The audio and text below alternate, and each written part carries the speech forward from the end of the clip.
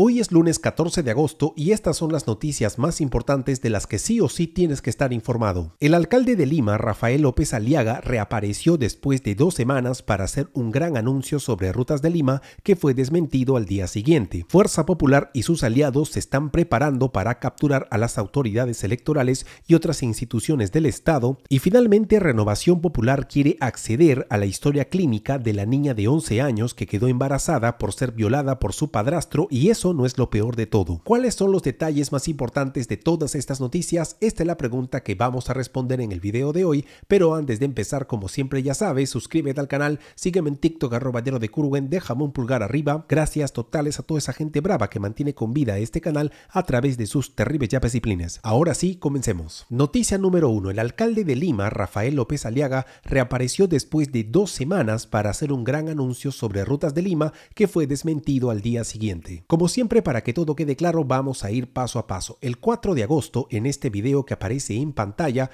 te conté que una de las promesas más importantes que hizo López Aliaga cuando postuló a la alcaldía de Lima fue la eliminación de los peajes administrados por Rutas de Lima, a los que él y muchos se refieren como los peajes de la corrupción debido a los sobornos que según la Fiscalía, Odebrecht, una de las accionistas del consorcio, le pagó a la gestión de Susana Villarán en el 2014. Como vimos en ese mismo video, mientras que en la gestión de Villarán el consorcio se firmó por 30 años y en la gestión de Luis Castañeda fue ampliado por 3 años, en la misma gestión de Castañeda y en la de Jorge Muñoz, Rutas de Lima fue llevado a un arbitraje internacional por los casos de corrupción y por las quejas de la gente por el peaje del río Chillón en Puente Piedra, pero en ambos casos la Municipalidad de Lima perdió por goleada. En la campaña municipal del año pasado, los expertos advirtieron que la promesa de López Aliaga de anular unilateralmente la concesión de Rutas de Lima no iba a ser posible a menos que estén dispuestos a pagar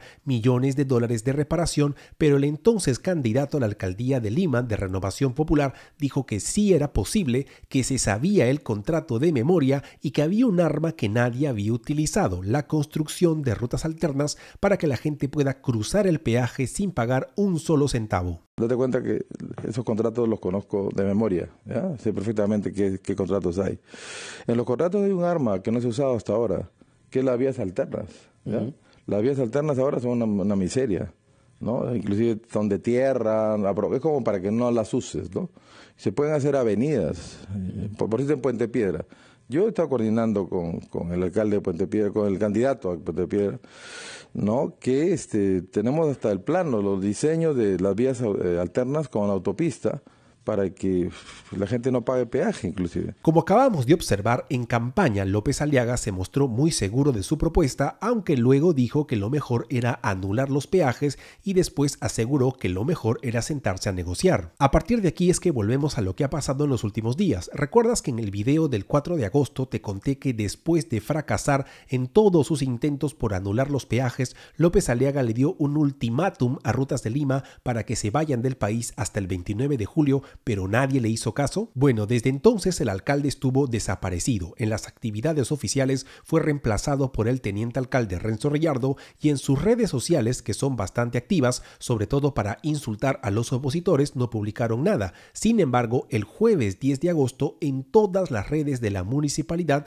se anunció con bombos y platillos que el alcalde daría un mensaje muy importante al día siguiente. El viernes 11 de agosto, López Aliaga reapareció después de dos semanas y en resumen, en su mensaje de unos 30 minutos dijo tres cosas, que la culpa de todo la tienen Susana Villarán y Jorge Muñoz, que no se pueden construir rutas alternas en el peaje de Puente Piedra, no solo porque no está en el contrato, sino porque el peaje está ubicado en medio de dos cerros y que ha llegado a un acuerdo con el ministro de Economía, Alex Contreras, para pagarle una compensación a Rutas de Lima con la condición de que se vayan del país. El día de hoy agradezco al ministro de Economía de Perú hemos hecho una propuesta económica, aún con todo este drama que estamos mirando aquí, ¿no? Este, hemos hecho una propuesta económica, no la voy a revelar evidentemente, pero creo que es suficiente. Es un máximo esfuerzo, un máximo estrés para la MUNI Lima, que no tiene recursos para poder pagarle una compensación a esta gente y que de una buena vez se largue del Perú. Como acabamos de escuchar, el alcalde de Lima ha sido bastante claro,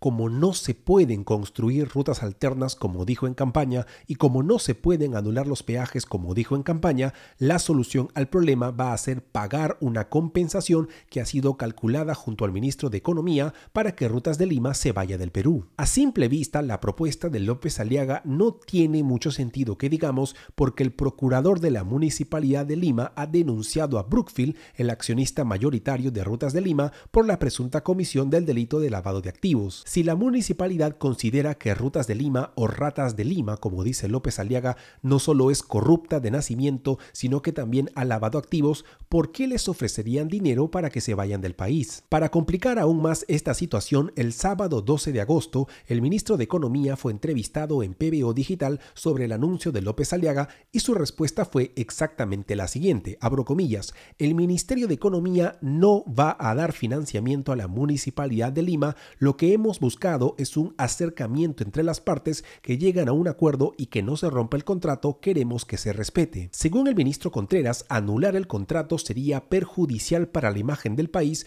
porque generaría malos precedentes y desconfianza en los inversionistas internacionales. En conclusión, el alcalde de Lima reapareció después de dos semanas para anunciar con bombos y platillos que había encontrado una manera de cumplir con su promesa, pero esta solución una vez más no va a ser posible porque el supuesto acuerdo al que había llegado con el ministro de Economía ha sido desmentido por el ministro de Economía. Noticia número 2. Fuerza Popular y sus aliados se están preparando para capturar a las autoridades electorales y otras instituciones del Estado. Este tema parece complicado pero es bastante sencillo. ¿Recuerdas que hace unos días vimos que la congresista fujimorista Marta Moyano fue elegida como la nueva presidenta de la Comisión de Constitución? Bueno, el viernes 11 de agosto, Hildebrand Sustese publicó el informe que estás viendo en pantalla titulado Plan Captura, que en sencillo nos cuenta algunas de las cosas que Fuerza Popular y sus aliados quieren hacer a través de esta comisión. Según el informe elaborado por el periodista Américo Zambrano, hasta el momento son 11 los proyectos de ley presentados no solo por Fuerza Popular, sino también por Alianza para el Progreso, Avanza País, Renovación Popular, Acción Popular y los no agrupados para modificar el artículo 99 de la Constitución y someter ante juicio y juicio político al presidente del Jurado Nacional de Elecciones y a los jefes de OMPE y RENIEC, algo que en la práctica va a permitir que las autoridades electorales sean controladas por estos partidos políticos. Como señala el informe, mientras que los cinco proyectos presentados por Avanza País, Renovación Popular y Acción Popular buscan recortar el mandato de las autoridades electorales, los seis proyectos presentados por Fuerza Popular, Avanza País, Acción Popular y Alianza para el Progreso buscan modificar la Constitución para poder acusar a las autoridades electorales y para ello la Comisión de Constitución controlada por el Fujimorismo desde el primer día va a ser de gran utilidad. Si revisamos las declaraciones de Marta Moyano sobre los proyectos que buscan controlar a las autoridades electorales y los ataques que reciben desde el 2021 por no sumarse a la campaña fujimorista del supuesto fraude, encontraremos cosas bastante preocupantes. Como señala el semanario, en diciembre del año pasado, por ejemplo, cuando el Congreso hacía la finta que debatía el adelanto de elecciones y Fuerza Popular presentó un proyecto para que se adelanten a diciembre del 2023, el Jurado Nacional de Elecciones se mostró de acuerdo con esta iniciativa fujimorista, así que Marta Moyano dijo exactamente lo siguiente, abro comillas, es increíble y estoy asombradísima, además que el Jurado Nacional de Elecciones acepte la propuesta de Fuerza Popular que es diciembre del 2023. Le pido a Jorge Luis Salas Arenas que acepte la otra propuesta que le hicimos, nos vamos todos y que renuncie. Esto es lo que debería hacer de cara a la comunidad. Como vimos en su momento, el Fujimorismo y otras bancadas aprovecharon el supuesto debate por el adelanto de elecciones para pedirle no solo al JNE, sino también a la OMPE que renuncien. Por otro lado, como recuerda el semanario, en los últimos meses, la Subcomisión de Acusaciones Constitucionales declaró improcedentes unas cuatro acusaciones contra el presidente del JNE a pesar de los votos de Marta Moyano, quien no dudó en presentar varias reconsideraciones para votar de nuevo. En conclusión, todo indica que Fuerza Popular y sus aliados se están preparando para evitar que el escenario del 2021 se repita. Solo para terminar, el 12 de agosto, el comercio ha publicado un informe que en sencillo señala que además de haber presentado seis proyectos para controlar a las autoridades electorales, Fuerza Popular y sus aliados han presentado 10 proyectos más para tener poder en ocho instituciones del Estado. Según el informe elaborado por el periodista periodista Martín Hidalgo, los proyectos son los siguientes. Uno, de Fuerza Popular, para que el Congreso ratifique la elección del representante del gobierno en el Consejo Fiscal. Tres proyectos de Fuerza Popular y Alianza para el Progreso para que el Congreso elija al Contralor General de la República. Un proyecto de renovación popular para reducir el número de votos para remover a los miembros de la Junta Nacional de Justicia. Un proyecto de Avanza País para que el Congreso elija al Procurador General del Estado. Dos proyectos de Fuerza Popular y un no agrupado para que el Congreso elija su propio procurador público y un proyecto para que el Congreso tenga un representante en el Instituto de Radio y Televisión del Perú. Y finalmente, noticia número 3, Renovación Popular quiere acceder a la historia clínica de la niña de 11 años que quedó embarazada por ser violada por su padrastro y eso no es lo peor de todo. La historia de horror es la siguiente. Hace unas semanas, Mila, una niña de 11 años de la región Loreto, se acercó a una comisaría para denunciar que desde hace varios años su padrastro abusaba sexualmente de ella y que un tío al que no identificó la había tocado. A diferencia de lo que pasó en el 2021 cuando presentó su primera denuncia por agresión sexual y todo quedó en nada, el caso de Mila fue atendido por la Unidad de Protección Especial del Ministerio de la Mujer porque detectaron que estaba embarazada. En un país civilizado, si una niña de 11 años queda embarazada, por agresión sexual, esta accede a un aborto terapéutico y el agresor va a la cárcel. Pero como estamos en el Perú, las cosas se han dado al revés. Por un lado, la Unidad de Protección Especial del Ministerio de la Mujer solicitó que Mila acceda a un aborto terapéutico, pero la Junta Médica del Hospital Regional lo negó con argumentos de espanto, como por ejemplo que la gestación es obstétricamente viable, que su evaluación psiquiátrica y psicológica no mostró alteraciones mentales severas que comprometan su vida y que la propia niña expresó su deseo de continuar con el embarazo. Además, la madre de Mila denunció que la directora de la Unidad de Protección Especial de Loreto, Lisbeth Mori, trató de convencerla para que no solicite el aborto terapéutico y Latina Noticias difundió los audios en los que se le escucha decir que la violencia sexual que ha sufrido su hija no se va a sanar con un aborto. Por otro lado, la Fiscalía Provincial Corporativa especializada en delitos de violencia contra la mujer de Loreto solicitó prisión preventiva para Lucas Peso Amaringo. Repito, Lucas Peso Amaringo, el padrastro señalado de abusar sexualmente de Mila,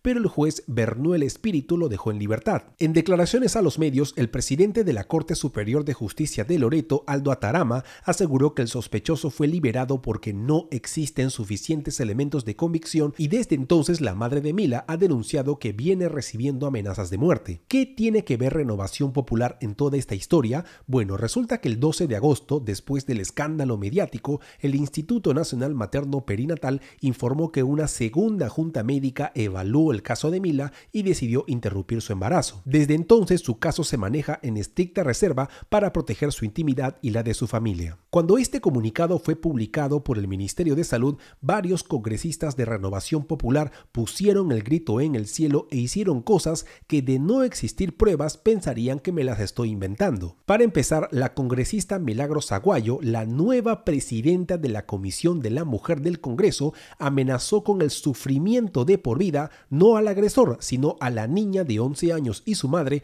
por haber accedido a un aborto terapéutico. Abro comillas, el aborto terapéutico solo permite el sacrificio de un peruano en el vientre cuando peligra la vida de la madre y el concebido. Este procedimiento ya reglamentado en nuestro país solo se permite para poder salvar a la madre a quien corresponde vivir y recordar a su bebé. Lamentablemente, el sacrificio del hijo de Mila vivirá con ella y con todos aquellos que tomaron la decisión de este procedimiento. Por si acaso, lo que dice la congresista Guayo es mentira. El artículo 119 del decreto legislativo 635 del Código Penal señala claramente que el aborto terapéutico no solo se aplica para salvar la vida de la gestante, sino también para, abro comillas, evitar en su salud un mal grave y permanente. Quien también decidió tomar cartas en el asunto no contra el agresor, sino contra Mila es Jorge Montoya. En sus redes sociales, el congresista de Renovación Popular exigió de manera inmediata que el ministro de Salud envíe toda la información que demuestre que, abro comillas, existía prueba indubitable del daño en la salud con muerte de la madre o del concebido. En pocas palabras, el congresista quiere acceder a la historia clínica de la niña agredida sexualmente porque la explicación del Ministerio de Salud no lo ha convencido. ¿Y tú qué opinas de todo esto? Deja tu respuesta en la caja de comentarios y cuéntanos por qué. Nos vemos mañana a las seis y media de la mañana con un nuevo video y recuerda que para participar participar de un Zoom en vivo todos los sábados a las 11 de la mañana, lo único que tienes que hacer es ingresar a la web que aparece en pantalla y suscribirte en Patreon. Difunde la información, comparte el video.